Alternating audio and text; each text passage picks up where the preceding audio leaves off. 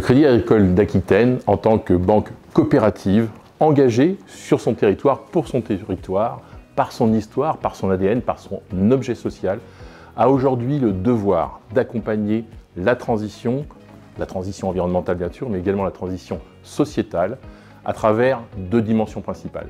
La première, celle qui nous est propre. Comment dans mon propre fonctionnement, moi Crédit Agricole, j'arrive à réduire mon empreinte carbone et tous les modes de fonctionnement qui va aujourd'hui avec le sujet qui touche le climat et l'adaptation de notre économie et de, nos comportements. La deuxième dimension, c'est comment je peux accompagner mes clients pour qu'ils puissent s'adapter à ces nouveaux éléments climatiques, aux nouvelles contraintes énergétiques et à une moindre consommation de tout ce que nous produisons sur Terre. Que ce soit euh, les impacts sur le sol, sur l'eau, sur l'air, sur l'énergie, sur tous ces sujets-là, le Crédit Agricole a véritablement un rôle et est un acteur majeur sur son territoire. En matière de développement durable, le Crédit Agricole d'Aquitaine inscrit son action autour de cinq priorités. L'accompagnement en confiance de nos clients, le développement durable de l'économie locale, la résilience et la solidarité de notre territoire par le biais du mutualisme, la limitation de notre impact environnemental et l'épanouissement de nos salariés. Pour favoriser le bien-être au travail de nos collaborateurs, la mise à disposition d'outils adaptés pour mieux servir nos clients, comme les smartphones, fait bien évidemment sens. Mais pour en limiter l'impact environnemental, nous nous inscrivons dans les objectifs de l'accord de Paris sur le climat, qui envisage la compensation carbone comme l'un des moyens pour limiter euh, globalement les émissions de gaz à effet de serre. À court terme, le Crédit Agricole d'Aquitaine s'est engagé à réduire de 30% ses émissions d'ici 2030 et il s'inscrit dans l'engagement Net Zero Banking Alliance pris par l'ensemble du groupe Crédit Agricole l'année dernière.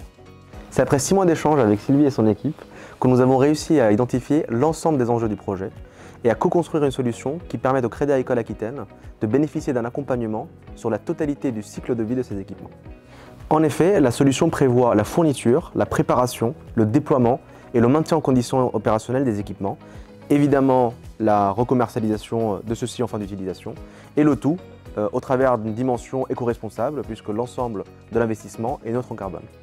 15% des émissions totales de notre entreprise sont liées au volet informatique et à nos matériels indispensables à notre activité.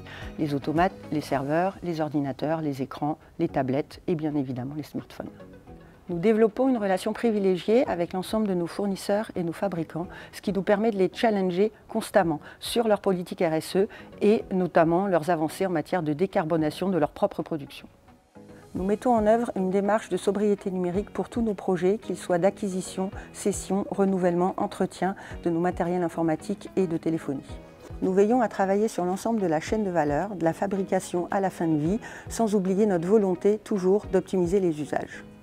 Nous avons retenu CAG Méridian comme partenaire sur ces sujets, tout particulièrement pour la prise en compte des enjeux environnementaux dans leurs solutions de financement et la possibilité de compensation carbone appelée carbone zéro.